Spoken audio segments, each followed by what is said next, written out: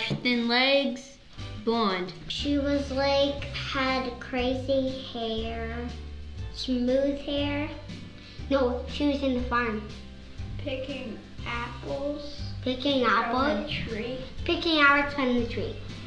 No, she was gardening. So, uh, Angel came out of nowhere. Poof. The angel said, Be prepared for, cause you're gonna have a baby. Your baby's name is going to be, um. Miss Messiah or something like that. Wait, how can a young woman have a baby? Sure, she can have a baby if she wants. And she wanted to have a baby.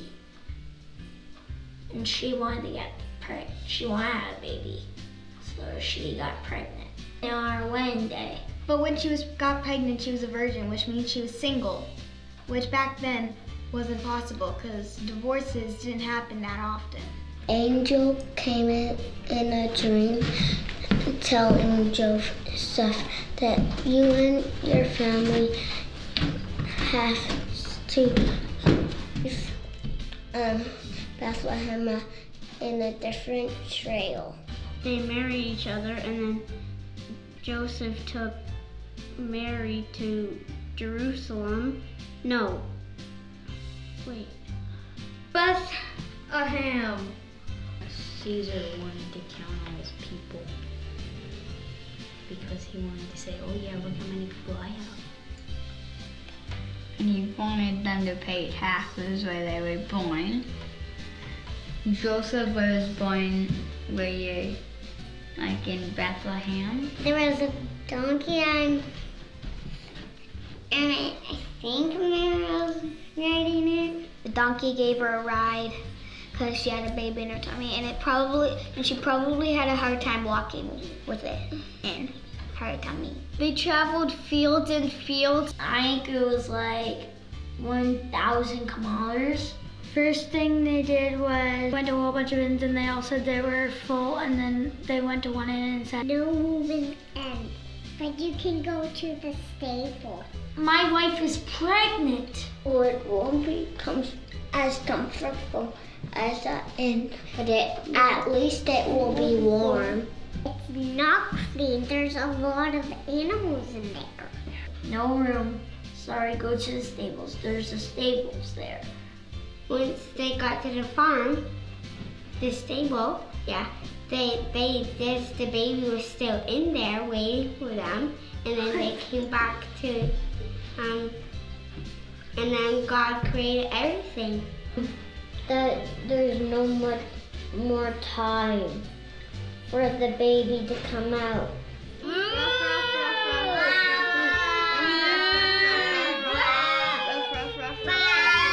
Animals probably knew too that the, that we needed that we needed to be quiet when the baby was there because babies because babies cry a lot when there's a lot of noise. It's wrapped her in um, a white cloth, yeah, and then she laid her in the manger. It had a bunch of hay on it so the baby could feel kind of comfortable, but the hay, the hay, hay is not comfortable. Oh, and they also had a blanket for the baby and a pillow. I, I don't think And a pillow. pillow. I don't think a pillow. We'll call you Jesus. Lay me down to sleep, and I will wake you up in the morning light. God promised that God promised Mary that she would have a baby, and and instead of just a baby, He gave her the Son of God. Shepherds. They were in the field watching the sheep, and then the angel scared them. Said, Don't be afraid. I have good news for you. Joseph's daughter, Joseph's wife is has having a baby. that Jesus got um um that um Jesus got burned born in a barn I'm an angel, a cloud of angels came to um um uh, shepherds.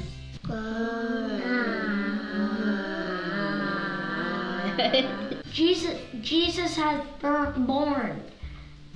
You must see it. Come on. Go to Bethlehem. You bet. I bet he has chubby cheeks. And really cute. They traveled fields and fields just to get to the manger.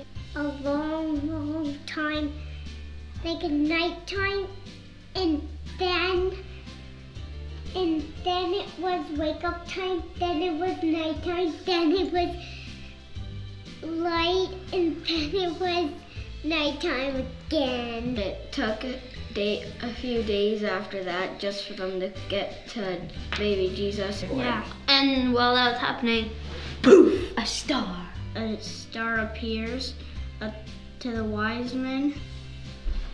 Oh. Oh. Star is so bright.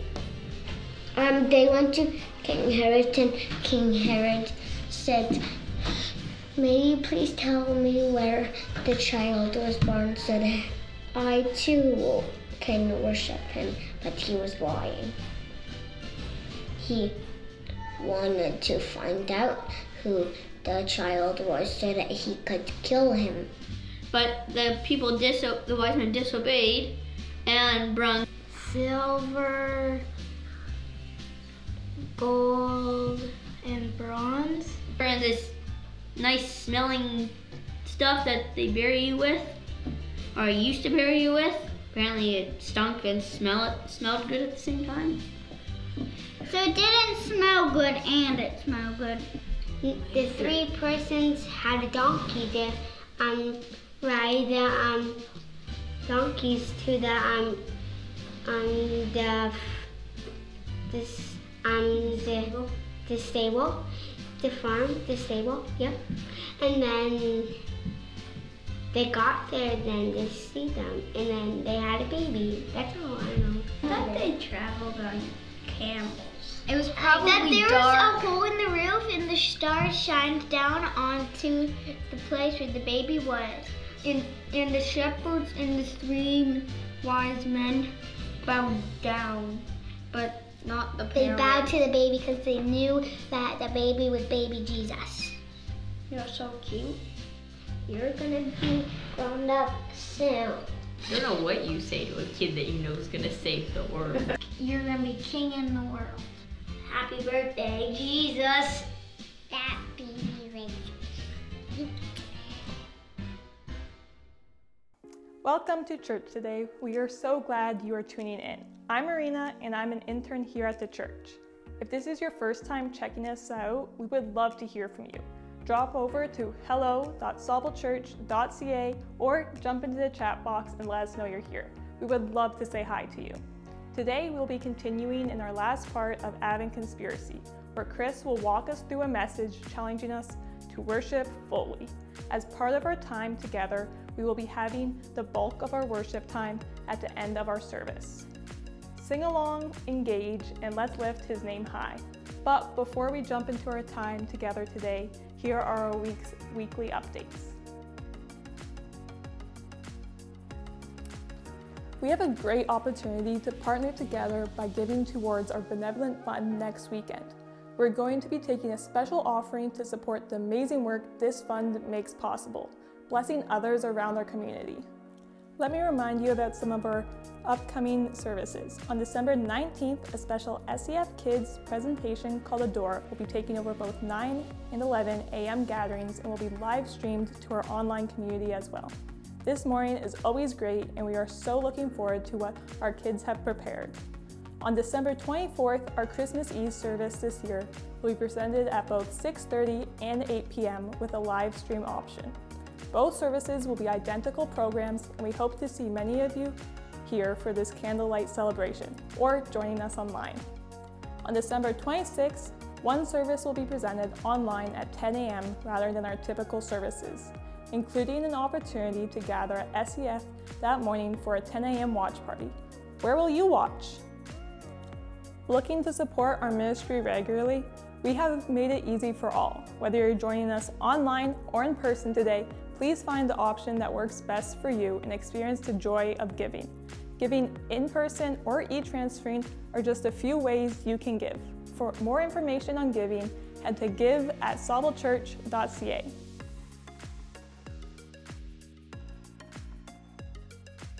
As we head into worship today, I want to do something a little different and read you some worship lyrics. When we're singing praise to God, we don't always have time to fully reflect on the lyrics we are singing. Let me read these lyrics for you. O come, all ye faithful, joyful and triumphant. O come ye, O come ye to Bethlehem. Come and behold him, born the King of angels. O come, let us adore him. O come, let us adore him. O come, let us adore him, Christ the Lord. Let us pray. Thank you, Lord, for your goodness to us. You provide for everything we need, and now we come to adore you. These songs and these thoughts today are directed as worship to you first, and we want to offer you our best. Take our praises and use it as you will. Change us and make us more like your Son. Meet with us now. Amen.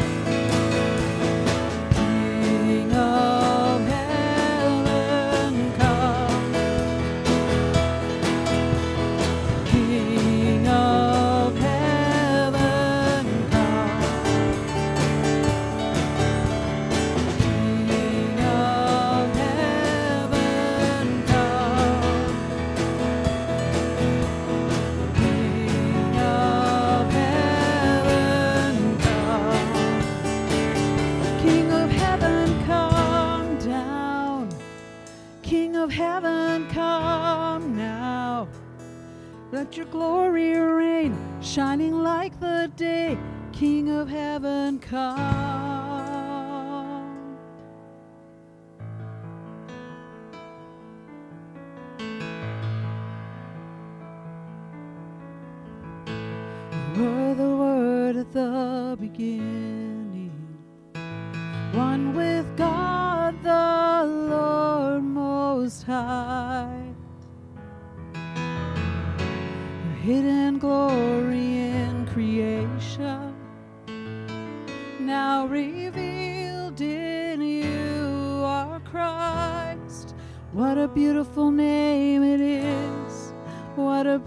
name it is!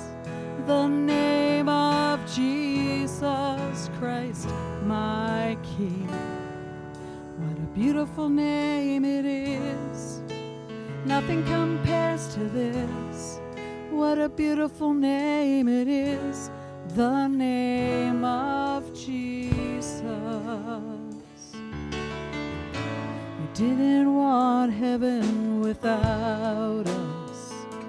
Jesus, you brought heaven down. My sin was great, your love was greater. What could separate us now? What a wonderful name it is. What a wonderful name it is.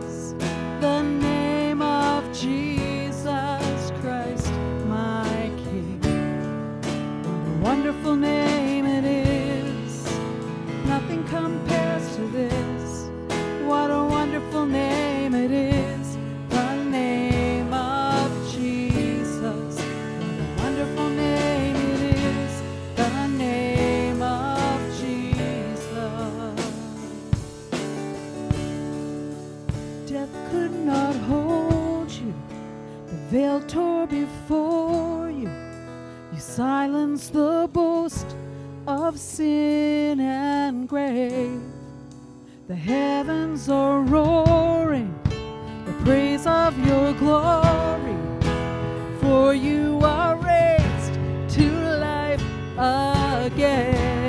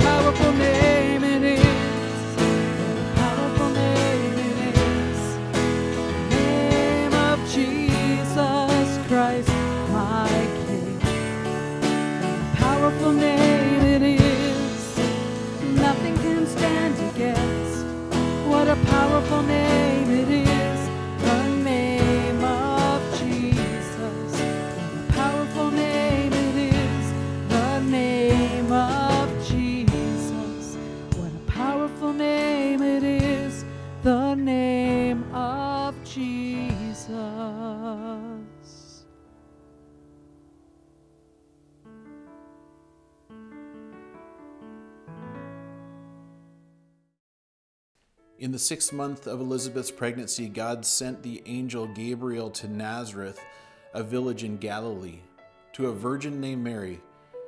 She was engaged to be married to a man named Joseph, a descendant of King David. Gabriel appeared to her and said, Greetings, favored woman, the Lord is with you. Confused and disturbed, Mary tried to think of what the angel could mean. Don't be afraid, Mary, the angel told her, for you have found favor with God. You will conceive and give birth to a son, and you will name him Jesus. He will be very great and will be called the Son of the Most High. The Lord God will give him the throne of his ancestor David, and he will reign over Israel forever. His kingdom will never end. Mary asked the angel, But how can this happen? I am a virgin. The angel replied, The Holy Spirit will come upon you, and the power of the Most High will overshadow you. So the baby to be born will be holy, and he will be called the Son of God. What's more, your relative Elizabeth has become pregnant in her old age. People used to say she was barren, but she has conceived a son and is now in her sixth month. For the word of God will never fail. Mary responded, I am the Lord's servant. May everything you have said about me come true. And then the angel left her. Hey, friends, thank you so much for joining with us today. And uh, wherever you're joining from, whether you're on your couch or your kitchen table or your car, um, we are so thankful that you are investing this time with us. Uh, we certainly don't take that lightly. And we here at SCF Online really want to um, we want to make this digital space, this point of connection with you, as meaningful and helpful and encouraging as it possibly can be. And I feel like this is still kind of newish uh, for us, even though we've been doing it uh, several months now. And, um, you know, we're trying to learn uh, week by week. We want to do this better and better and better. So I'm really thankful for your patience that you've kind of let us uh, have the space to find our way and make missteps. Um, but whether you've been engaging with us now for quite some time, maybe you're a little bit more uh, new to SCF Online, maybe this is your very first time connecting with us, thank you. Thank you for your investment of time. You are important to us. Our mission at SCF Online is, well, it's the very same as our mission for everything uh, with Sauble Christian Fellowship, we really, really want to help people to know God, become like Jesus, and change our world. Well, welcome to Advent Conspiracy Part 4. This is the uh, final installment of our Advent Conspiracy series. And um, we've had some different uh, themes along the way. We've talked about spend less, give more, Last week we talked about love all, and today is worship fully. And uh, next week, of course, as you've already heard, we're going to live stream our SCF Kids presentation, which is going to be a lot of fun. Live streaming is adventurous, and when you live stream children, well, anything can happen and probably will, but I know uh, it will bless you as we again meet in this space next week. Um, it would be really helpful if you had your Bible uh, handy and have it open to Luke chapter 1 or on your phone or your iPad, whatever you uh, use. Um, we're going to stay in Luke chapter 1 today, but we are going to bounce around quite a bit within that chapter. Some of the verses we look at will be on the screen, uh, but others won't. So uh, it's helpful if you can see those for yourself uh, in your own Bible. We had read for us just a few moments ago uh, Luke 1 26 to 38. And that's this incredible encounter between Gabriel, the angel, God's messenger, and Mary. And uh, Gabriel announces some pretty incredible news to Mary. Well, I want to read some more. I want to pick up right from there and see what happens next. So I'm going to begin reading at verse 39. A few days later, Mary hurried to the hill country of Judea, to the town where Zechariah lived. She entered the house and greeted Elizabeth. At the sound of Mary's greeting, Elizabeth's child leaped within her, and Elizabeth was filled with the Holy Spirit. Elizabeth gave a glad cry and exclaimed to Mary, God has blessed you above all women, and your child is blessed. Why am I so honored that the mother of my Lord should visit me? When I heard your greeting, the baby in my womb leaped for joy.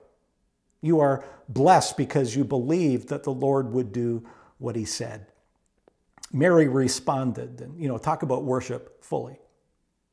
Oh, how my soul praises the Lord, how my spirit rejoices in God my Savior, for he took notice of his lowly servant girl.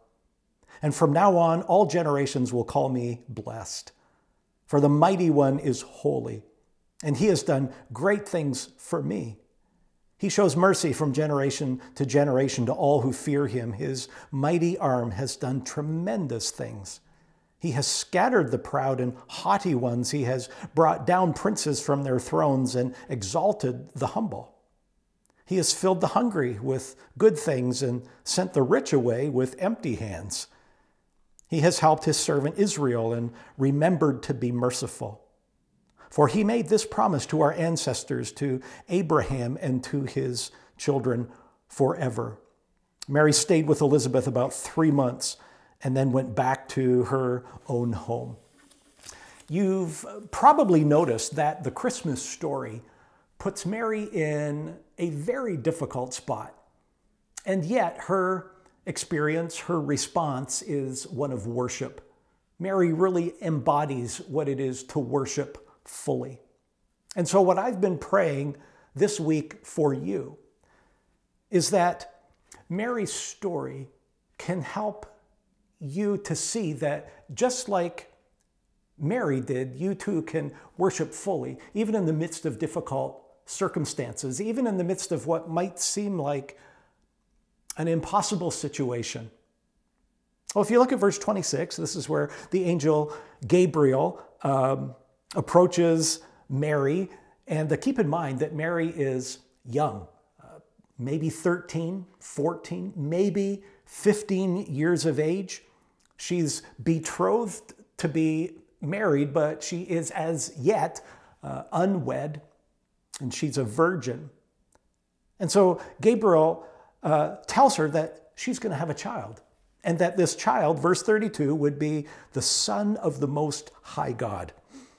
And so Mary says in verse 34, How can this happen? Not this can't happen, but how can this happen? Mary's is not a statement of doubt. This is a question of logistics. Hers is a question of biology. It's a, it's a birds and bees kind of question. She's engaged to this guy named Joseph, but they've never been physically intimate. So, literally, how can this happen? This is not disbelief. Uh, earlier in the chapter, we do see disbelief. We didn't read this part, but um, the same angel, Gabriel, approaches a guy named Zechariah. He's old, he's a, a priest, and he's been married to decades for, uh, to his wife Elizabeth, and they have no children. And so Gabriel says to Zechariah, You and your wife Elizabeth are going to have a son. You're going to name him John. And Zechariah did not believe. He doubted what Gabriel had said. And as a result, if you look at verse 20, Gabriel says to Zechariah, But now, since you didn't believe what I said, you will be silent and unable to speak until the child is born. Well, Mary expressed no such doubt. And so, therefore, Gabriel didn't give her the, you know, the silent treatment, so to speak, that, uh, that he gave to Zechariah. But I think, um, I think we do see a principle here that is worth uh, noting, and it is this Having faith does not mean we don't have any questions. Having faith does not mean that we don't have any questions. Mary's got faith and, and a question. And it's a big question. Her question is one of logistics. She's not questioning God's ability at all. And, and hers also is not a question of complaint. She's not asking, um, you know, oh, great. Uh, how am I going to fit into my wedding dress? Or what is Joseph going to think? Or what are my parents going to think? Or what are people going to say? Or why can't you find somebody else to do this? No, hers is a question of logistics. She's asking, you know, in what way can this pregnancy take place since I'm a virgin? She's got faith that God can do it. She just doesn't know how. And God honored her faith, and uh, God graciously gives Mary information and so Gabriel tells her in verse 35 that the, the Holy Spirit would come upon her and that this conception would be uh, divine. And that 35th verse is interesting. And, and, Luke, as he writes this, is, is describing, you know, the Holy Spirit will come upon you and the power of the Most High will overshadow you. That word uh, overshadow in Greek is episkiazo. It's, it's an interesting Greek term. It's the It's the New Testament Greek equivalent of an Old Testament Hebrew word that Moses used in Exodus chapter 40, where he describes the, uh, the cloud that overshadowed the tabernacle when it was filled with the Lord's glory. And so the Spirit would overshadow Mary, just like the cloud overshadowed the tabernacle. It's the same word.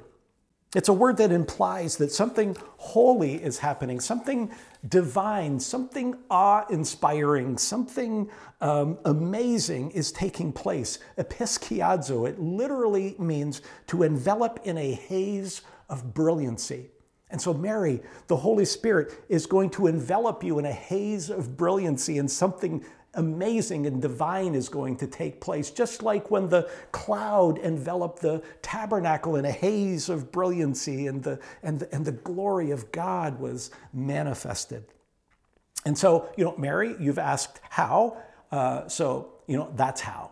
And her question is answered. And Gabriel even goes, I love this, he goes, above and beyond in terms of giving confirmation to Mary. And, and um, in verse 36, Gabriel says, you know, and besides all of that, as if that's not enough, he says, besides all of that, your relative Elizabeth is now pregnant, and she's in her old age and barren.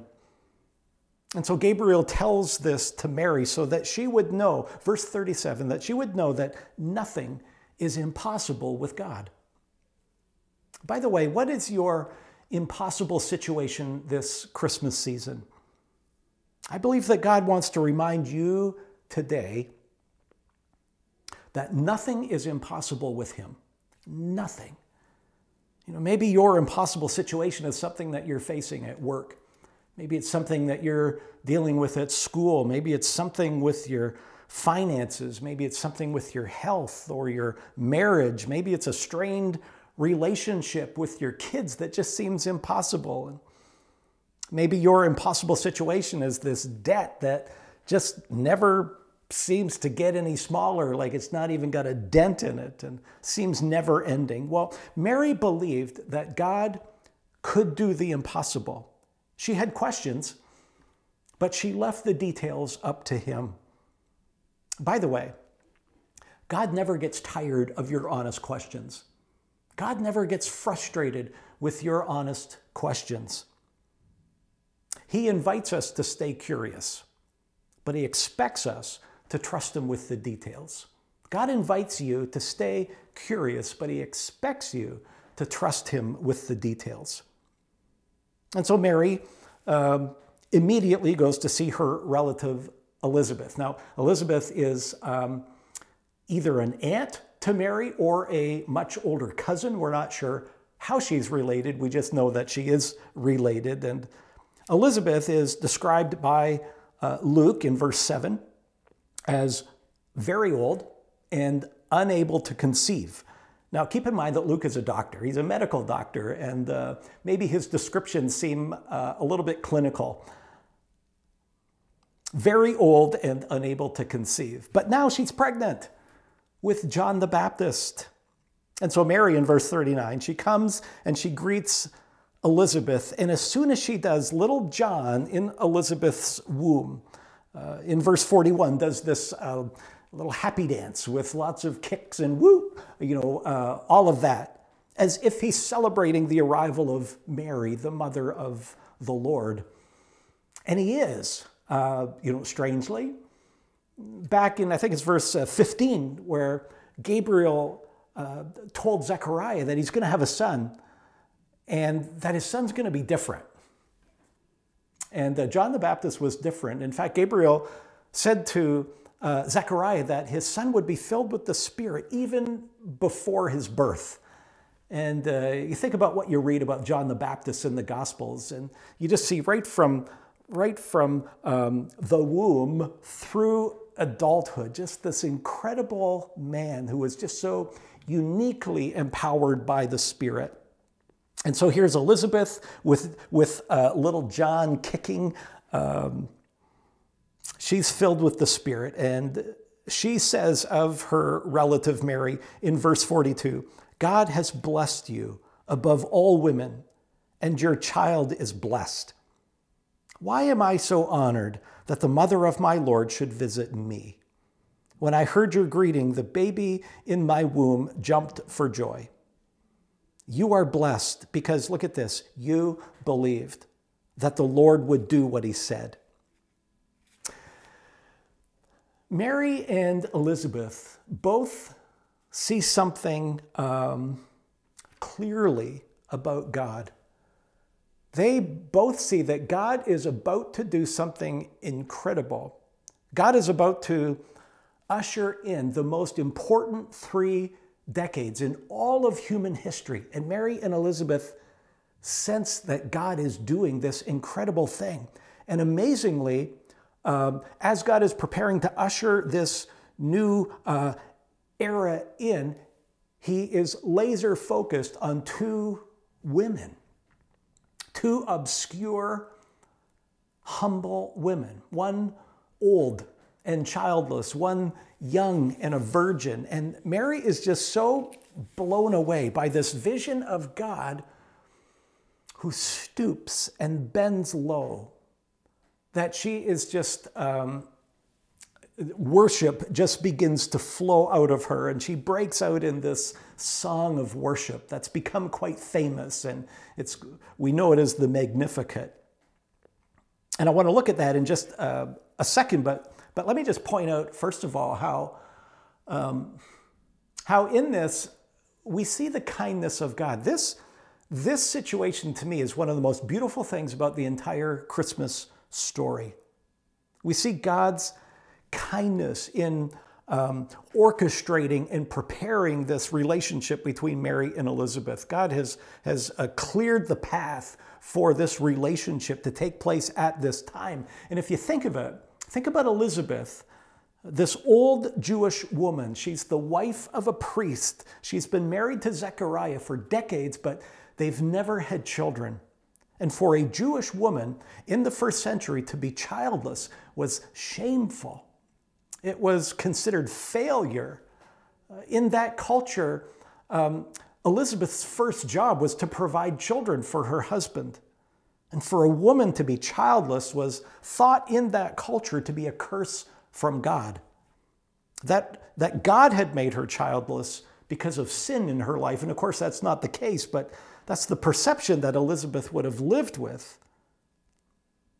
She lived her entire adult life with fingers being pointed at her, with whispers made in her general direction. Though there goes the priest's wife. She's barren, cursed by God.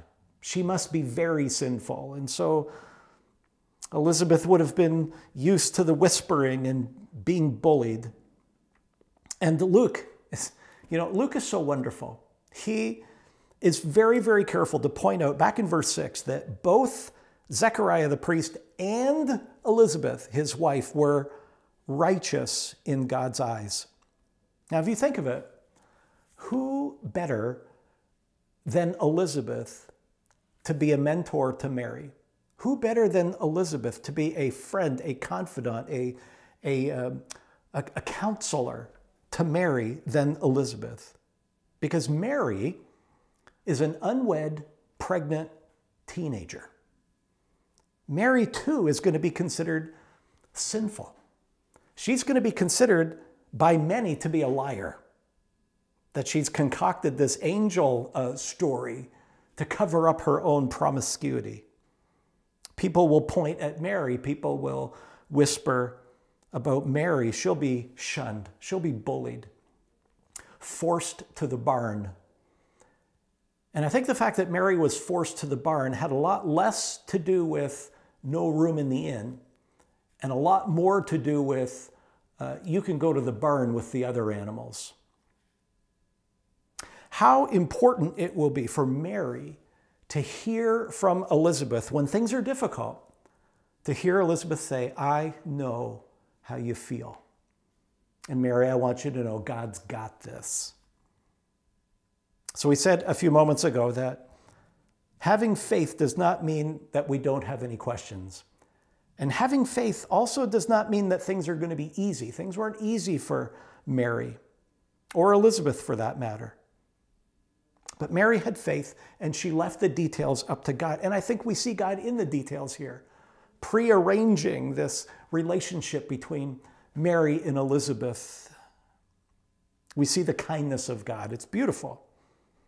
Well, look at this, uh, what we call the Magnificat. It begins in verse 46. Mary responded, Oh, how my soul praises the Lord, how my spirit rejoices in God my Savior for he took notice. In the ESV, it says, he looked. For he took notice of his lowly servant girl. Last week, we saw that God's heart is with the poor. God's heart is with those on the margins. God's heart is, is with those who are up against it. Those with unmet needs, the hungry, the thirsty, the oppressed, the bullied, the shunned, the judged, the stranger. And we saw that God demonstrated that clearly by being born in the way that he was born. The impoverished birth of Jesus in a barn in Bethlehem, in a feeding trough. And in that, God just expresses his solidarity with the poor. And Mary and Joseph were poor, they were homeless. They became refugees seeking asylum in Egypt. And remember, uh, the very first public statement of Jesus in his public ministry goes to that synagogue in Nazareth and reads from Isaiah and says, The Spirit of the Lord is upon me, for he has anointed me to preach good news to the poor. God's heart is with the poor, God's heart is with those who are really up against it. And maybe that's you. And what I believe that God wants you to hear today, and what I believe that God wants you to hear from His lips to your heart in the middle of your difficult situation, to hear God say, I see you. I see you. I notice. And so in this song of Mary, Verse 47, she's moved to worship and she offers praise and she worships fully because, verse 48, he has looked, he took notice of his lowly servant girl. She's moved to worship because God has seen her and she knows that God has seen her, and that's enough for her. And just knowing that she's seen by God just brings such relief to her soul. Yes, she's got questions, and that's okay, but she's going to trust God with the details. And I love this chapter, and I love how Luke uh, pens it. He, he very clearly makes Mary and Elizabeth the heroes of this story, and you can just see in Luke's description how he's so impressed with the, the humble, faith of these two amazing women. And he's impressed with their humility. Elizabeth says in verse 43, Why am I so honored that the mother of my Lord should visit me? Humility. Mary herself in verse 48, the Lord has looked. He took notice of me, his lowly servant girl. He sees me, humility. And I think there's a principle there for us. And I think it's this that the only ones who can worship fully and who can have fullness of joy in their praise are ones like Mary and Elizabeth who acknowledge their lowly estate, humility. People like Mary and Elizabeth who are just overwhelmed at the splendor of God who would stoop and bend low to them. Well, I want to uh, just very quickly point out three things from Mary's song, three observations about her worship. Uh, one, Mary worships fully the God who saves. We see that in verses 46 and 47. Secondly, Mary worships fully the God who sees. That's in verse 48. And Mary worships fully the God who stoops verse 49. I want us to think about these three points just for uh, a few seconds. Let's do it in reverse order. We'll start with number three. Mary worships fully the God who stoops. We see in verse 49, Mary says, The mighty one is holy. And we don't always equate the holiness of God in his stooping, but Mary does. The word holy means set apart. God is completely set apart from his creation, including us. He's completely other, completely different, and he acts in ways that are completely surprising to us. And so, as we notice this worship song of Mary in verses 46 and following, here's how God's holiness is displayed. He shows mercy. His heart is with the poor. He resists the boastful. He lifts the lowly. The hungry will be filled, and the rich who trust in their riches, well, they're going to end up hungry and empty. God is holy. He is completely other than what we are, and He acts differently than we do. And you know, we, uh, in our world, we can be so enamored by pride and power and wealth and celebrity, but God is not impressed by the things that impress us. God is not enamored by the things that we are enamored with. God is holy. And He's the God who stoops, He's the God who bends low. You know, speaking of pride and power and wealth, keep in mind the one to whom Luke is writing this gospel. We sometimes imagine that Luke is writing this to some huge crowd, but he's writing this to one person. We're reading somebody else's mail.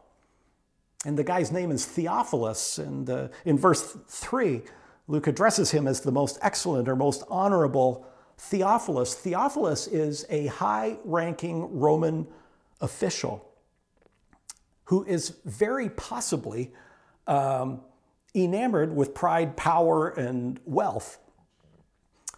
Uh, growing up in, in in a Roman environment, it would have been uh, hardwired into the DNA of Theophilus to be proud.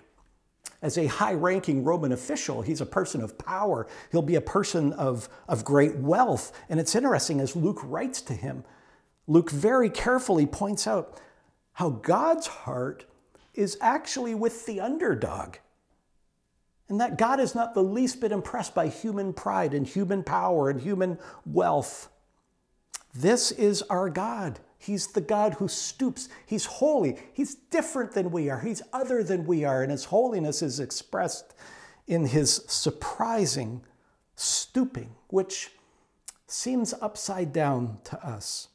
And it's in his stooping that God casts his vote with the poor. We're going to sing in just a moment. What child is this? This, this is Christ the King. This is our King. This is Emmanuel. This is God with us. This is God in flesh, the one who cries from the feeding trough, the one who stoops down and washes feet. He's holy, set apart, entirely unlike us. He's the God who stoops and is nailed to a cross.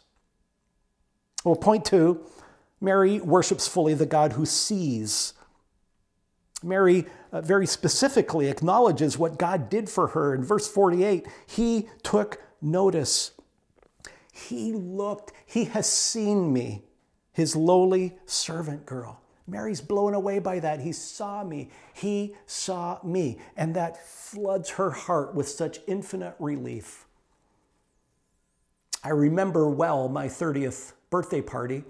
It was a surprise party, so that makes it memorable, but I very clearly remember during this party uh, standing in the kitchen talking to my friend uh, who was the host of the party, and we're engaged in this conversation. And my son, my eldest son, who was four years old at the time, came up to me and did this Dad, Dad, Dad, Dad, Dad, Dad. And I'm engaged in this conversation. And finally, I look down and I say, What is it? And I remember he just grinned and didn't say anything and just turned around and ran off and resumed playing with his friends. Sometimes we just need to know that our Father sees us. Mary says, God has seen me, He's looked on me. And the result of that is her soul is just filled with, with relief. Relief of knowing that she's seen by God. And for her, that's enough. It fills her soul. And that brings us to point one, which is this Mary worships fully the God who saves. In this song, verse 46 and following, she just bursts into worship because a holy God has stooped and seen her, seen her in her need, in her humility. And her soul is just flooded with this joyous relief that just spills out of her in worship because he's the God who saves. Look at verse 47 How my soul rejoices in God, my Savior. Verse 46 Oh, how my soul praises the Lord. Some translations uh, render verse uh, 46, like the New King James, for instance, says, My soul magnifies the Lord. I like that. To magnify is to make something appear large. And, and Mary just wants her whole life to be a magnifying glass that just helps people see God more clearly. Well, let's, let's finish up by circling back to a question that we asked earlier in this talk, and it is this What is your impossible situation this Christmas season? You know, the Christmas story puts Mary in a pretty difficult position, and yet her response is to worship fully. She responds with faith. She believes God. She's got questions, and that's okay. But she trusts that God can do what he says, and she's willing to leave the details up to him. This Christmas, let's allow the stories of Elizabeth and Mary to remind us, to remind you that with God, nothing is impossible. Nothing. Allow the stories of Elizabeth and Mary to remind you right now, in the middle of your difficult situation, your seemingly impossible situation, be reminded that God sees you. He sees you, and let that fill your soul with that joyous relief so that you, like Mary, can worship fully and make Jesus large. Well, we would love to pray for you. We'd love to pray with you. Maybe you've got needs that you would love uh, for us to join you in praying. We would be honored to do that. And you can communicate your prayer requests to us. There's a number of ways that you can do that, but probably the most simple way to do that is just to email us prayer at saublechurch.ca. You can just let us know what your need is, what your prayer requests are. And we've got dozens and dozens of dozens of people who will faithfully join you in lifting you up and that need before the Lord in prayer. We'd be honored uh, to do so. Well, let's pray together. Our Father, you are holy. You are completely other than what we are. And we confess that we could become so enamored and preoccupied and distracted with material stuff, material wealth, earthly power, human celebrity, but not you. You're not impressed with the things that so often impress us. Rather, you are the God who is holy. You're set apart, completely different, other than us. You respond in ways that surprise us. You act in ways that seem upside down. You're the God who stoops and you see the humble. You see those in need. You're the God who stoops, who saves by being nailed to a cross. And your heart is with those in need right now. Your heart is with those who are up against it right now, and we thank you for that. And so, our Father, in this moment, would you flood our hearts with the joyous relief that comes knowing that we are seen by you? And may the impoverished birth of Jesus, Jesus in the feeding trough, remind us that your heart is with the humble. In the name of Christ the King, amen.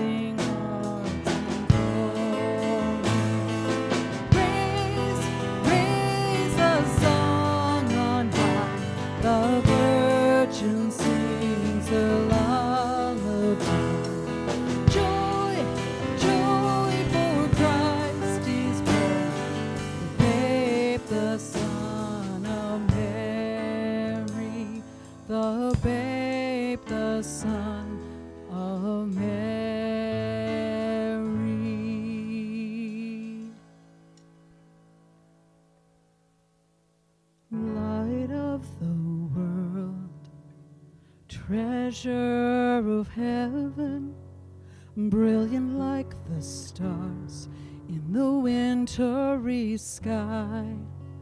Joy of the Father, reach through the darkness, shine across the earth, send the shadows to fly.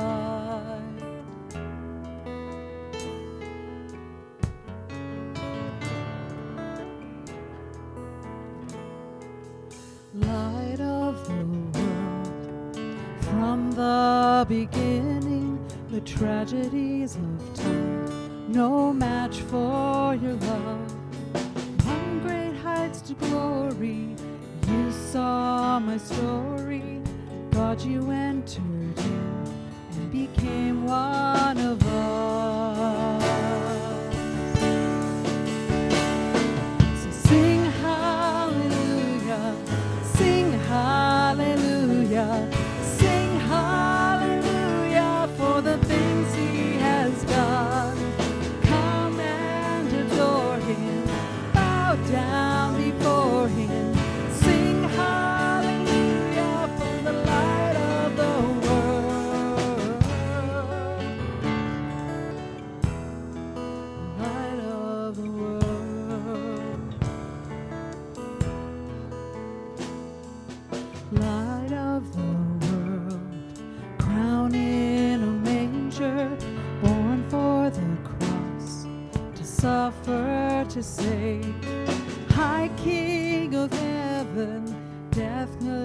the poor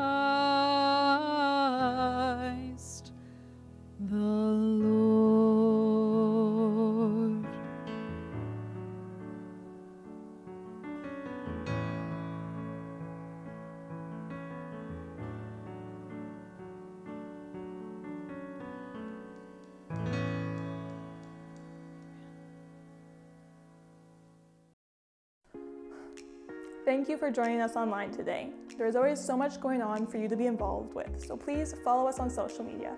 We'll see you next week.